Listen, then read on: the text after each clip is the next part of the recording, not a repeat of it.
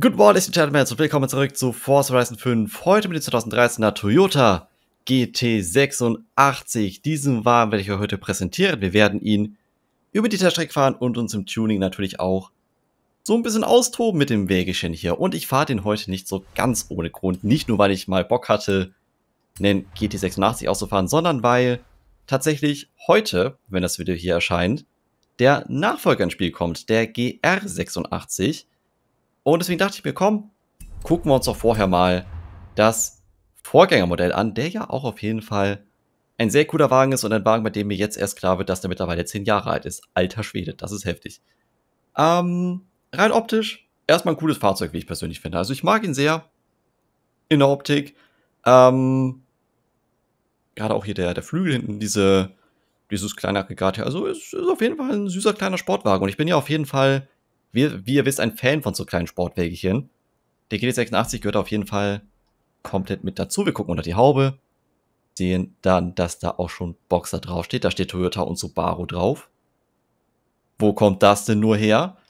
Naja, ich denke mal, das ist so eine Story, die jeder weiß mittlerweile, dass dieser Wagen hier ähm, ein Schwesterfahrzeug hat und zwar aus dem Hause Subaru. Ich glaube, ich habe da gerade keinen mehr, der Stock ist. Ne, ich habe einen, der aber relativ Stock aussieht.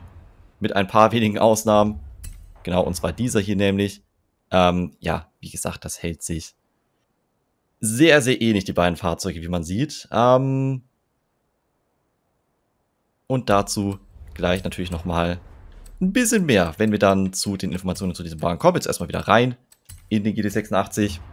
Der hier im Spiel nur 86 heißt. Er hat, glaube ich, auch ab und zu mal die Bezeichnung 86. Ähm, ich nenne ihn persönlich immer GT86, weil Toyota 86 klingt irgendwie nicht ganz so schick, muss ich persönlich sagen. Wir setzen uns rein in den Wagen, sehen dann auch ein Interieur, was an sich ganz nett aussieht auf jeden Fall. Schön sportlich gehalten, definitiv. Also finde ich nicht schlecht. Der Schaltknüppel ist ein bisschen weird, finde ich persönlich. Auch ein bisschen groß geraten. Aber ansonsten auf jeden Fall fühle ich mich hier ganz wohl. Ich würde sagen, wir starten ihn mal.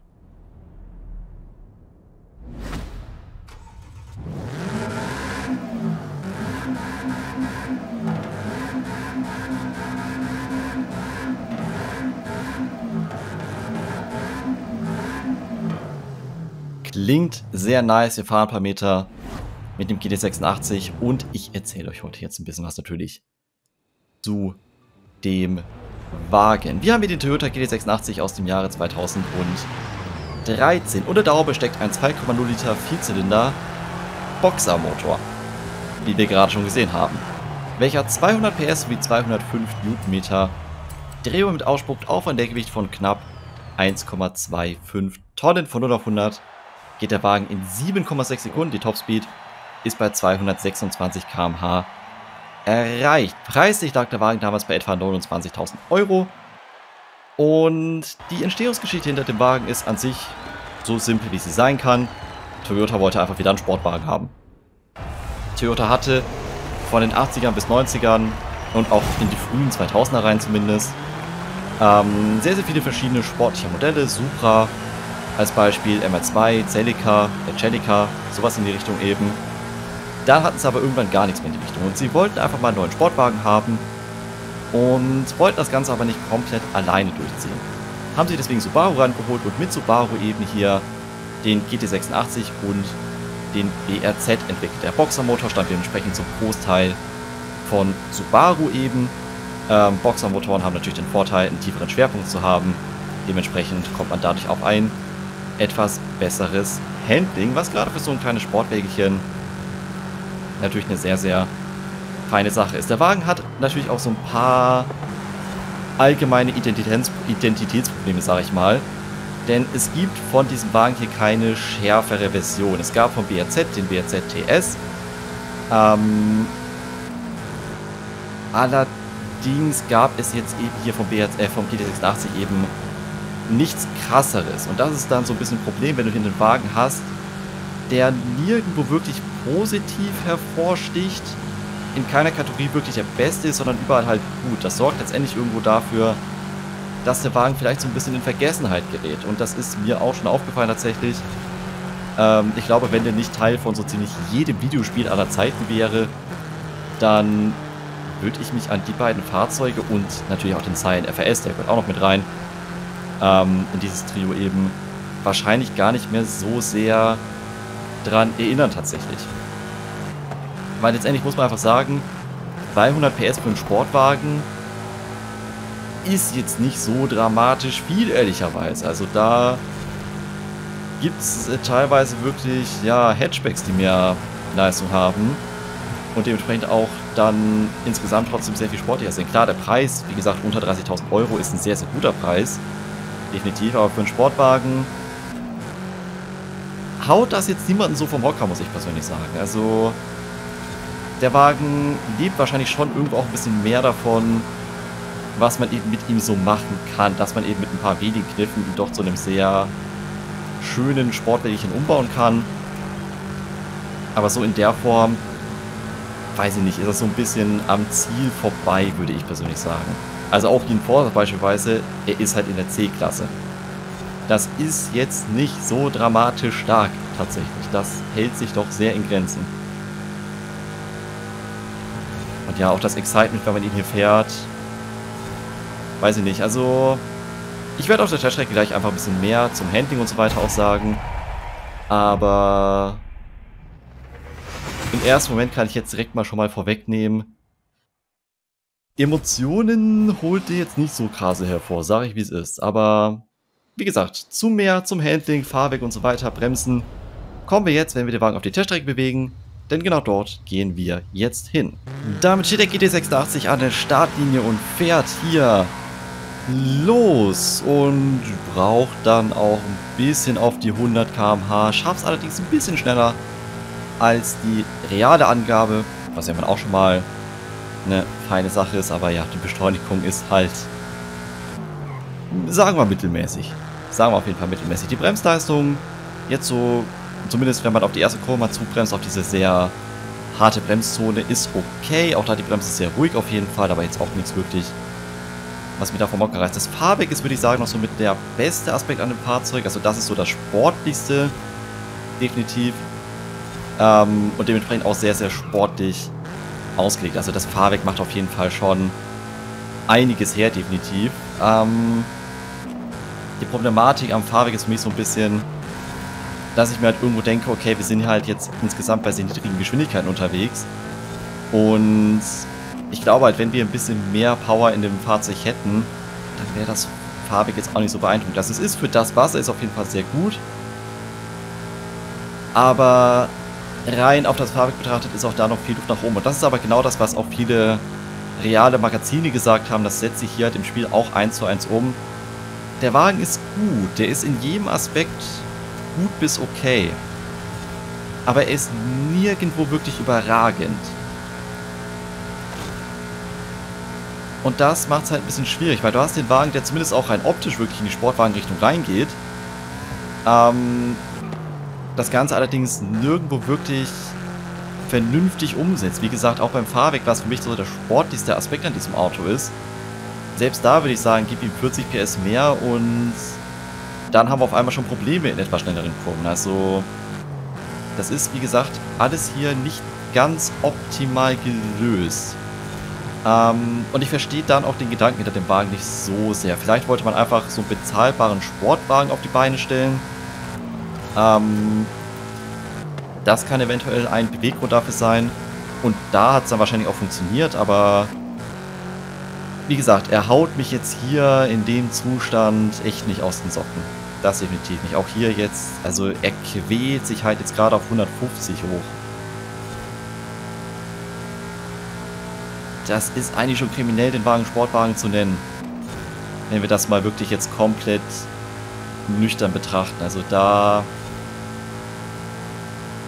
weiß ich jetzt nicht, ob ich da so mit übereinstimme mit der Bezeichnung tatsächlich. Die Frage ist, was ist er sonst? Aber ja, wir werden dann natürlich auch gucken in der morgigen Folge dann, ob der GR86 mir da vielleicht ein bisschen mehr die Augen öffnet und vielleicht den GT86 dann auch ein bisschen schöner insgesamt am Ende dastehen lässt. Kann ja sein. Er kommt mit 205 km/h über die Ziellinie. Er setzt eine Zeit von 3 Minuten 2652 und Ja, hat jetzt damit echt nicht so die überragende Zeit, muss man sagen. Sortiert sich ein bei Mazda 323 GTR. Bisschen schneller als der Chevrolet Camaro Supersport Coupé aus den 70ern, beziehungsweise der sogar noch aus den 60ern. Ähm, und wenn ich mir halt angucke, dass sogar ein Toyota Supra im Café, den wir vor ein paar Folgen ausgefahren sind, achteinhalb Sekunden schneller ist, dann bin ich mir jetzt ehrlicherweise nicht so ganz sicher, was genau hier der Sinn des Wagens war. Vielleicht ist wirklich einfach nur der Sinn, einen Wagen zu bauen, der Spaß macht zu fahren, der mehr Spaß macht zu fahren als ein BMW 328i oder so oder 328d, keine Ahnung. Aber wie gesagt, ich verstehe das Konzept hier gerade nicht. Ich verstehe es wirklich einfach nicht. Soll es ein Einsteiger-Sportwagen sein? Potenziell. Ich würde aber sagen, selbst dann ist die Leistung, die er hier hat, insgesamt sehr enttäuschend. Ähm, wie gesagt, ich persönlich habe jetzt nicht wirklich viel Spaß, ihn zu fahren. Ähm, er ist halt okay. Das ist so für mich das, der große Knackpunkt. Ich habe jetzt nicht irgendwie diesen einen Punkt, wo der Wagen exciting ist. Das, das existiert einfach nicht beim GT86. Finde ich sehr schade, weil das gehört für mich doch irgendwo mit dazu bei dem Sportwagen. Und das existiert hier nicht wirklich. Werden wir rangehen, wir gehen ins Tuning und gucken mal, was wir machen können überhaupt. Aber wie gesagt, im Serienzustand bisschen enttäuschend, bisschen enttäuschend. Wir haben ein paar Motorswaps. Wir haben einen BMW Inline 6. Wir haben einen äh, Subaru Motor. LS, klar, natürlich. Turbo Ready. GT3 RS. Natürlich. 3.6 in der Turbo. Und 458. Warum haben wir einen 458 Motor zur Auswahl? Aufgrund des Toyota GT4586 hieß er, glaube ich. Ähm, was ein Projekt war von, ich weiß nicht wem, auf jeden Fall nicht von Toyota selber, wo man im Prinzip einen Drift GT86 mit einem Ferrari 458 Motor aufgebaut hat. Sehr, sehr coole Sache, dass wir hier jetzt auch den Ferrari Motor als Swap zur Verfügung haben. Ich glaube, eine Sache, die ihn schon mal ein bisschen spannender machen kann, ist ein Turbo. Er kriegt ein Turbo. Kriegt er ein Rocket Bunny Kit? Weiß ich nicht. Wir gucken erstmal die anderen Teile an. Weil er hat auf jeden Fall ein paar Armor-Teile. Sea West haben wir hier. Ähm, das geht ein bisschen in die RX-8-Richtung, finde ich persönlich. Das ist halt schick. Das Ding ist aber halt, das hatten wir schon auf dem BAZ drauf. Zu dem es, glaube ich, schon eine Folge gab. Warte mal, war das innerhalb einer LP-Folge oder war das außerhalb einer LP-Folge? Lass mich das mal ganz kurz überprüfen. Ich habe ja eine schöne Liste dafür. Ähm. Okay, nee, das war scheinbar nicht in einer LP-Folge mit dem BRZ. Ja, dann würde ich doch mal sagen, können wir das, können wir das mal drauf machen. Weil das nimmt halt für mich wirklich die schönen Elemente vom GT86 mit. Definitiv. Ähm, Im Flügel, ja, Big Country Labs auf jeden Fall. Äh, würde ich sagen, ja, kriegt er so einen, so minimal größeren Flügel hinten dran. Oh. Ah. Wait, warte mal, was war das hier vorne? Garage Berry. Okay, ich finde das hier nicht schlecht. Auch hier wieder so ein paar schickere Elemente dran. Und wenn wir jetzt noch einen schönen Seitenschweller hinkriegen.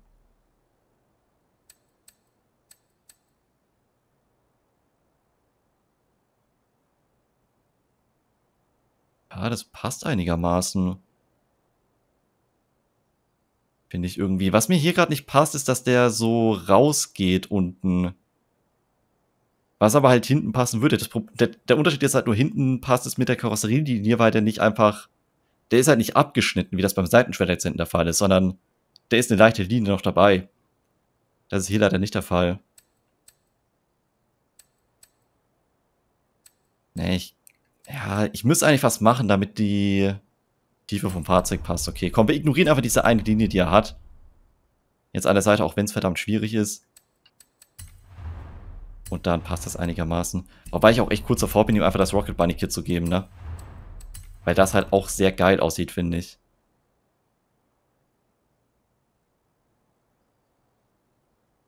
Machen wir einen Rocket Bunny Wagen draus.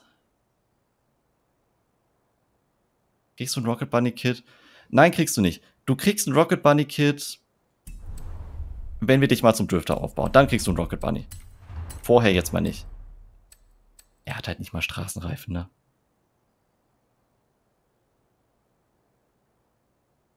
Eieieiei, okay. Ja, Sportreifen kriegst du auf jeden Fall.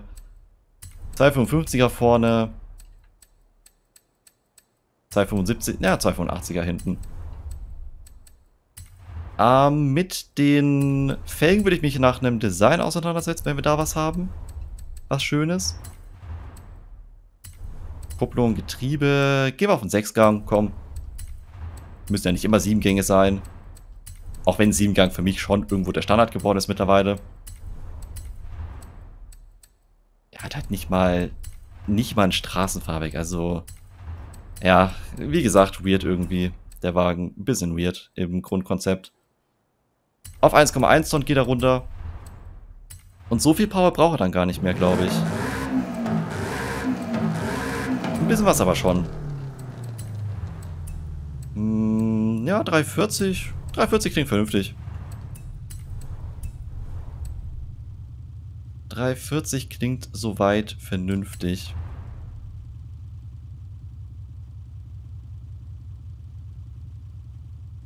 Ich habe mir halt echt was zusammengeschustert, ne? Garage Ready vorne. Den Flügel hinten. Ah, cool. Immerhin, immerhin der Flügel und die der Heckschussfänger passen zusammen.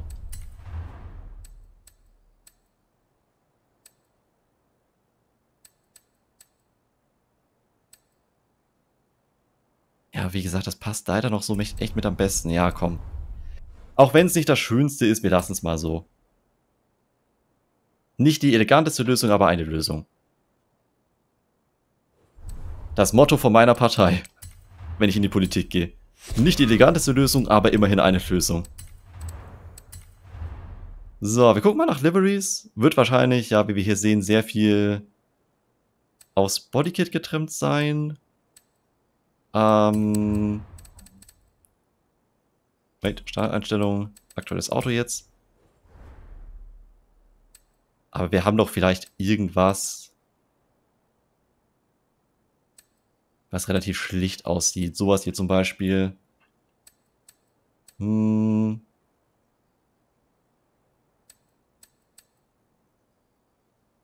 Das denn? Okay, wild. Ich würde mir das immer ganz gerne angucken. Wie das aussieht, aber im ersten, auf den ersten Blick gar nicht schlecht. Ich sehe hinten schon mal schwarze Elemente. Auf Kofferraum und auf dem Flügel. Ja, doch. Schick, schick, kann man machen. Kann man machen auf jeden Fall. Wait, warte mal. Wieso haben wir hinten weiße Punkte? Ist das auf, einen anderen, auf eine andere Schütze ausgelegt?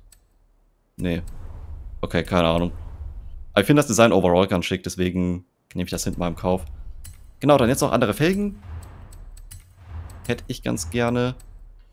Gott sei Dank, die... Nee, die sind nicht lackiert. Scheiße, also ich muss jetzt echt noch Felgen finden, die von der Farbe her gut passen auch noch. Oh Gott. Ja, das wird eine Aufgabe jetzt. Weil ich kann die Felgen nicht umlackieren. Das funktioniert leider nicht.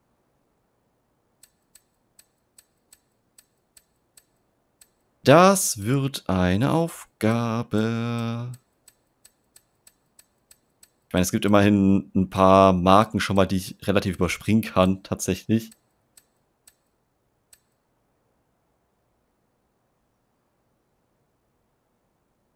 Die haben was, finde ich. Die habe ich noch nie auf einem Auto drauf gehabt, aber wenn ich da jetzt vielleicht 18 Zoll Felgen draus mache, finde ich die nicht schlecht. Ja, nehmen wir so. Nehmen wir ganz gerne so. Perfekt. Boah, der sieht schon jetzt echt nicht schlecht aus, finde ich. Hat was auf jeden Fall. Ich bin wie gesagt sehr gespannt auf den GR86, den wir jetzt morgen reinbekommen werden. Ich bin auch mal sehr gespannt, ob wir dann in den nächsten Monaten vielleicht auch den GR Jahres sehen werden. dass wir dann wirklich so das Trio von GR Supra, G86 und GR Jahres komplettieren in Forza Horizon 5. Fände ich sehr schick tatsächlich. Ähm, müssen wir aber abwarten einfach. Also wäre auf jeden Fall sehr, sehr geil, weil der GR Jahres ist halt wirklich so einer der Wagen, der, der wurde vorgestellt und alle haben sich gedacht, what the fuck habt ihr getan, Toyota? Was halt so gar nicht das Image von Toyota ist. Wie gesagt, Toyota ist eigentlich in den 2000ern eher bekannt geworden durch ihre einfach unkaputtbaren Fahrzeuge. Die Sportlichkeit haben sie wirklich eher beiseite gelegt. Das haben sie ja dann wirklich mit dem GR-Jahres, kann man sagen, wieder so angefangen zurückzuholen. Dann kam ja der Supra hinterher, dann kam der äh, GR86 hinterher, der jetzt ja doch ein gutes Stück sportlicher sein soll als der GT86. Und deswegen wäre es schon cool, wenn wir den Jahres auch noch drinnen hätten auf jeden Fall. Ich würde gerne direkt mal ins Tuning reingehen. Weil ich doch ein paar Sachen gerne hätte. Ich hätte zum Beispiel gerne das Getriebe ein bisschen kürzer. Weichere Stabis an der Front, weil wir hatten jetzt schon teilweise zu krasses Untersteuern. Und die Bremsen einfach schon mal prophylaktisch eingestellt. Potenzial auch ein bisschen, bisschen schon mal eingestellt. So, jetzt können wir.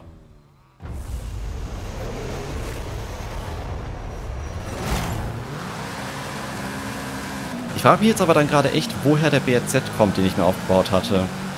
Wenn er nicht aus dem LP kam. Was Sinn ergibt irgendwo, weil... Im LP bin ich, glaube ich, auf der Straße nur einen Subaru bisher ausgefahren. Und das war der... Ähm, der ST209. Kommt der vielleicht dann aus dem Tuning-Stream? Das wäre möglich. Den G86 bin ich auch schon mal den CVR ausgefahren, wenn mich nicht alles täuscht. Ich kann mich nur an die Folge nicht mehr erinnern, aber ich bin mir relativ sicher, dass ich mal einen GT86 in CVR gefahren bin. Weil das ist halt so ein bisschen der Vorteil jetzt an ihm. Dadurch, dass er eine C-Klasse ist, kannst du halt super viel mit ihm machen. Und halt echt was Sportliches daraus bauen. Weil du halt viele Möglichkeiten einfach hast. Also, das ist halt echt... Dadurch, dass er so... Ja, ein Stück weit schon enttäuschend ist in der Realität in dem, was er ist, ähm, kannst du halt wirklich, du, du, du, kannst sehr viel selber machen. Das ist schon mal eine feine Sache. Wie gesagt, ich bin ein bisschen schockiert darüber, oh Gott, dass wir so viel Untersteuern haben. Nein, ich bin ein bisschen schockiert darüber, dass der Wagen mittlerweile wirklich 10 Jahre alt ist. Weil ich finde ehrlich, das Design von dem Auto ist immer noch modern. Also das jetzt nicht irgendwie ein BMW, wo ich beispielsweise jetzt sagen würde, 2013er Modell, ja gut, siehst du schon, dass der ein paar Jahre älter ist, dass das die alte BMW-Optik ist. Ähm, das habe ich hier überhaupt nicht. Also wie gesagt, der ist für mich persönlich immer noch modern.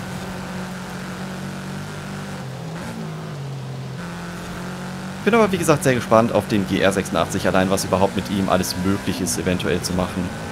Er soll ja ein Bodykit haben, ich weiß jetzt noch nicht welches, aber er soll auf jeden Fall ein Bodykit haben. Und vielleicht bauen wir da dann ja eine 400 PS Maschine draus. Weiß ich nicht, gucken wir mal.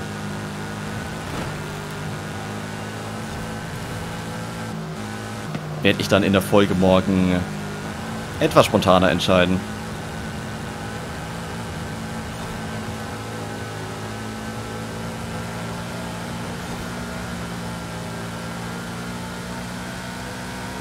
Also hier gibt es auf jeden Fall noch ein, zwei Sachen, die nicht so wirklich passen. Die Problematik ist für mich gerade rauszufinden, wie viel davon auf die nasse Fahrbahn zurückzuführen ist. Aber gerade das Untersteuern in der schnellen Kurve muss auf jeden Fall nochmal reduziert werden. Das geht am einfachsten mit Semislicks, klar. Aber ich sag mal, da wo wir uns gerade befinden, sind Sportreifen halt auch noch absolut fein, definitiv. Also da braucht man jetzt nicht unbedingt Semislicks in, in der A-Klasse drin bei 360 PS oder was wir jetzt haben, also oder 340. Das muss nicht sein. Wir haben immerhin die schnellste Runde. Wenn auch knapp. Der SLK war nah dran, aber wir haben die schnellste Runde.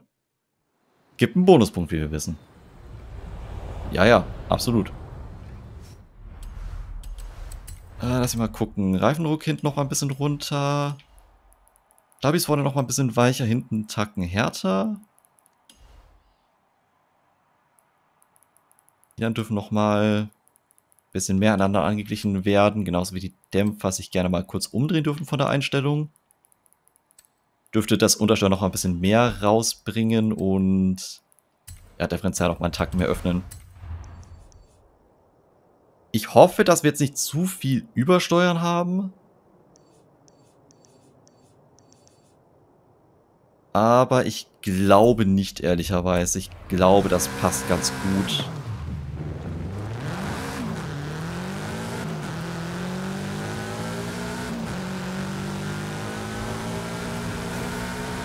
Ready.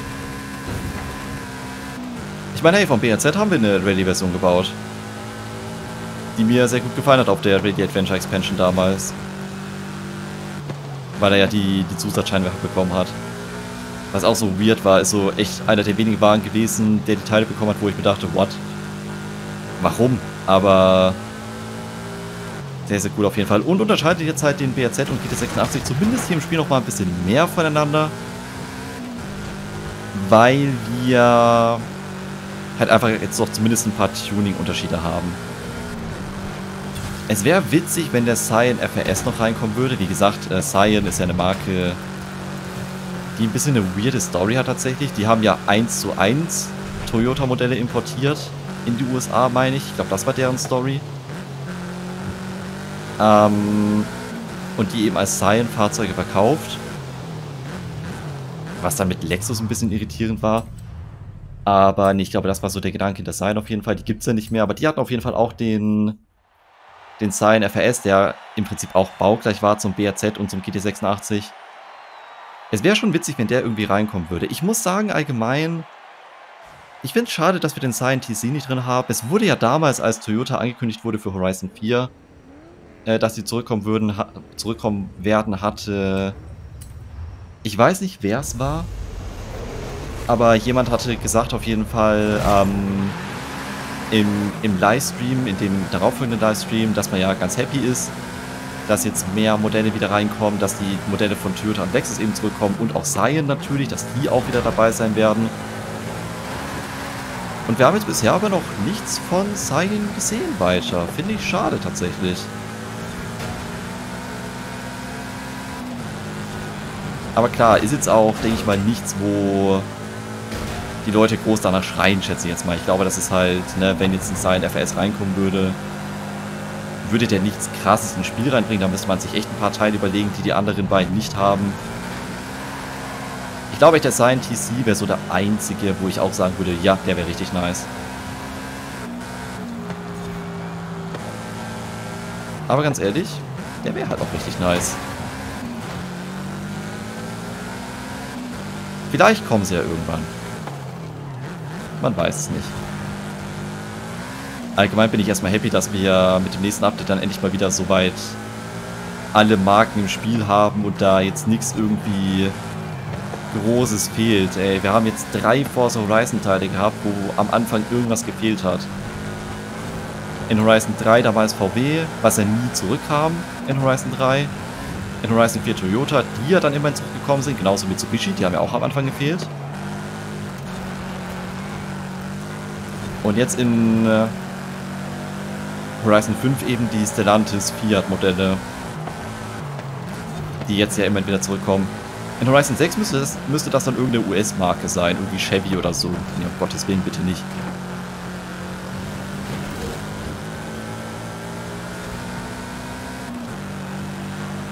Dann gibt es aber Stress hier, wenn, wenn Chevrolet fehlt.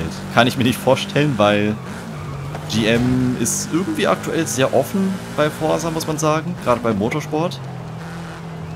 Was die Modelle angeht. Und deswegen hoffe ich auch, dass wir eine Corvette Z06 noch bekommen werden. Und man die nicht einfach überspringt. Aber allgemein, es stimmt schon, wir haben leider irgendwie in Horizon 5 bisher sehr wenig Chevrolet bekommen. Ich glaube zwei Modelle bisher. Das ist nicht so viel.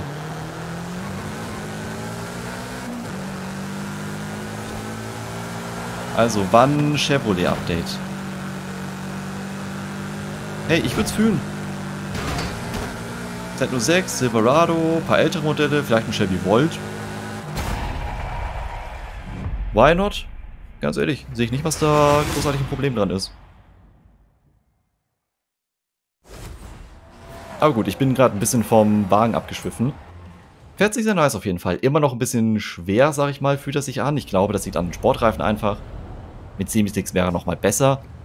Aber insgesamt auf jeden Fall macht er sehr viel Spaß zu fahren. Ich würde damit sagen, meine Damen und Herren, das wäre es mit dieser Ausgabe dann gewesen. Wenn es dir gefallen hat, würde ich mich über ein Daumen nach oben und ein Abo freuen. Bis zum nächsten Mal. Servus!